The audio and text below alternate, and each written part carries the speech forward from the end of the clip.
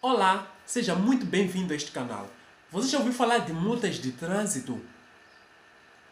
E das consequências que advêm delas?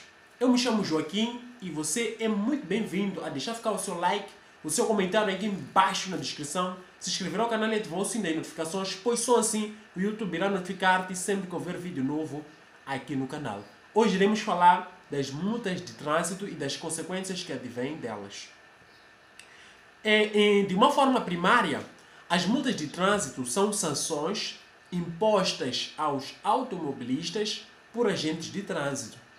Essas sanções são impostas por conta da ação ou omissão por parte do automobilista. Mas, Joaquim, o que seria uma ação que vai causar, consequentemente, a, a multa de trânsito? A título de exemplo, nós podemos trazer aqui o fato de um automobilista que está na via pública e passar o semáforo ah, na cor vermelha. Isso é susceptível de o agente de trânsito autuar o automobilista, automobilista assim que é com uma multa. Agora, omissão. A omissão vai ser quando, a, a título de exemplo, um automobilista que se faz a via pública e ele pretende mudar de direção. Porém, na mudança de direção, ele não vai assinalar o sentido da marcha que pretende seguir. Isso também é suscetível de uma multa de trânsito. Bom, aqui em Moçambique não se fala muito, ou não se tem muito conteúdo em relação às multas de trânsito. Por isso eu decidi fazer esse vídeo para explicar melhor em torno desta temática. Outro sim é o fato da prescrição das multas de trânsito, o que faz com que vários automobilistas paguem multas que já prescreveram. Bom, em relação a este tema, a, as multas de trânsito, uma vez sendo, eh, uma vez tendo recebido uma, uma multa de trânsito como automobilista, o automobilista tem 15 dias para efetuar o pagamento da multa.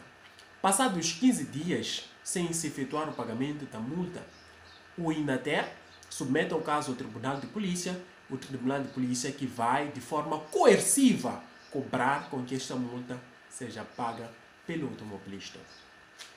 Porém, mais importante, preste bastante atenção.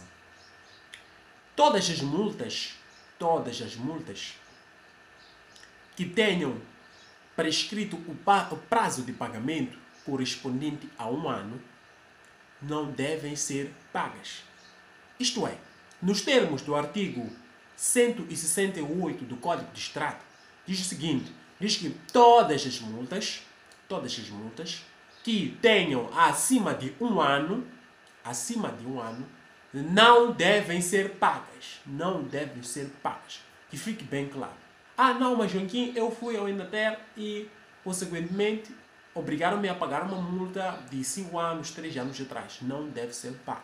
Todas as multas que tenham acima de um ano não devem ser pagas. Não são susceptíveis de pagamento. Por quê? Por uma razão muito simples. Porque o automobilista tem 15 dias para efetuar o pagamento da multa.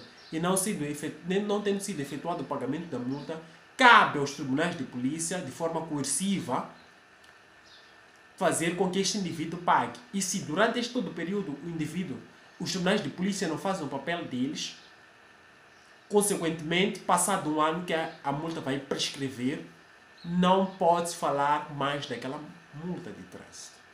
Muito bem, eu espero que tenha gostado deste vídeo. Se gostou, deixe o seu like, o seu comentário aqui embaixo na descrição, se inscreva no canal e ative o sino das notificações e nós nos vemos no próximo vídeo. Um abraço, um beijo, até mais. Bye bye.